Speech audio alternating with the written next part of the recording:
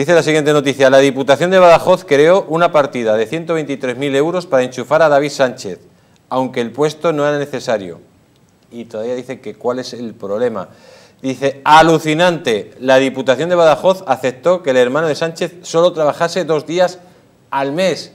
Y todavía viene este sacamantecas a decir cuál es el problema. Señora Montero. A mí lo que más me gusta es que cuando Ábalos dice cuál es el problema, de fondo tiene un cartel que dice somos la izquierda. es que me encanta, es una foto de libro. Eso se tendrá que enseñar en la universidad por lo menos. ¿no? Bueno, realmente la denuncia inicial de manos limpias, a la que se refiere el abogado José María Bueno, realmente apuntaban a presunta prevaricación, eh, malversación, tráfico de influencias, delito contra la hacienda pública y contra la seguridad social en el caso de la Diputación y por eso además está imputado el presidente de la Diputación Provincial, Miguel Ángel Gallardo. Respecto a la contratación de la hermana, efectivamente, presuntamente, como ha explicado muy bien él, podríamos decir que se crea un puesto que no existía y que realmente se hace como a medida y que ya contamos además en esta casa hace unos meses, que en esa selección que se hace de unos 11 aspirantes, si mal no recuerdo, em, que es una entrevista personal y que realmente es la que David pasa como el que mejor ha hecho la entrevista. Fijaos qué mega entrevista voy a hacer, era, vamos, Superman para la Diputación de Badajoz. Y realmente parece ser que habría que ver, cotejar con los currículums de todos los aspirantes que se presentaron porque le dan la plaza a él y, no a otro. ¿no? Eso, eso por una parte. Por otra parte, efectivamente, cuánto ha ejercido en ese puesto, eh, qué veces ha ido al despacho físico, si es que lo tenía, cuánto teletrabajo hizo y cuánto cobró. Sobre todo, en periodismo, y, lo sabe mi querido compañero, siempre hay que seguir la pista del dinero. Pues ¿Cuánta pasta ha cobrado por lo que haya hecho realmente? ¿no? Y efectivamente, ¿por qué se crea esa plaza? ¿Cuál es la motivación? La pregunta fundamental, ¿qué ha hecho? ¿Qué ha hecho? ¿Y qué no, y qué no ha hecho? del puesto? ¿Cuáles son los méritos acumulados en el ejercicio de ese puesto?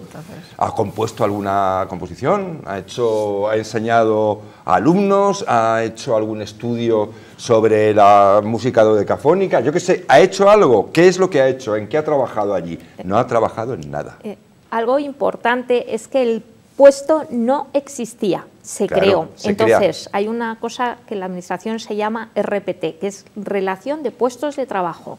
Y entonces tuvieron que crear un puesto y eso no se crea así de la noche a la mañana, es que hay que hacer una memoria justificativa de cuáles son las razones que justifican, valga la redundancia, la creación de un nuevo puesto.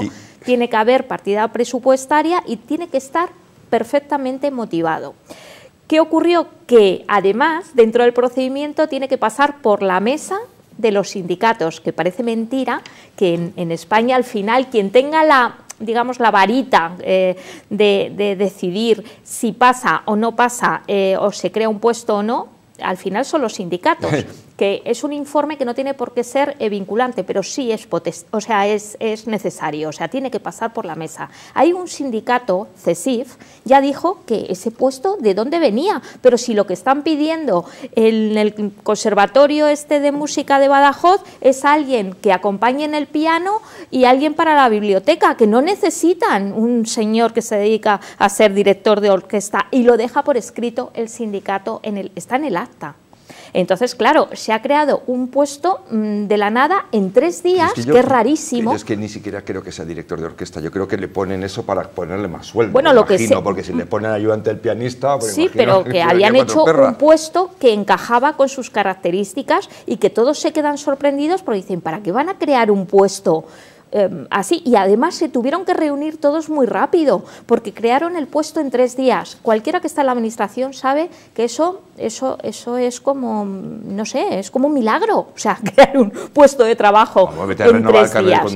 y, lo más, más de tres. y lo más alucinante es que es cierto que han reconocido, y lo reconoce la propia Diputación, que no va a trabajar y que eso no es un delito. O sea, está, está feo, está feo. Entonces, hombre, tiene todos los ingredientes. Y luego que se fuera a Elvas a vivir cobrando un sueldo público y que para pagar menos impuestos. Es que es terrible, pero eh, lo último que quiero decir es que esto ocurrió en 2000, ¿cuándo fue? En 2017, ¿no? En 2000.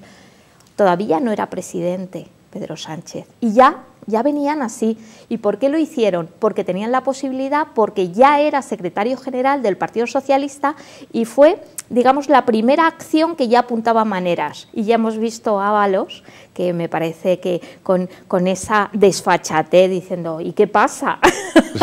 ¿Y qué pasa? ¿Qué pasa? Que me voy con la, me voy con la Jenny, ¿qué pasa? Cuesta 1.500 euros, lo va a ayudar a pagar ustedes. ¿Y qué pasa, señores? ¿Qué, problema tenéis? ¿Algún problema? ¿Eh? Pues a protestar al Banco de España.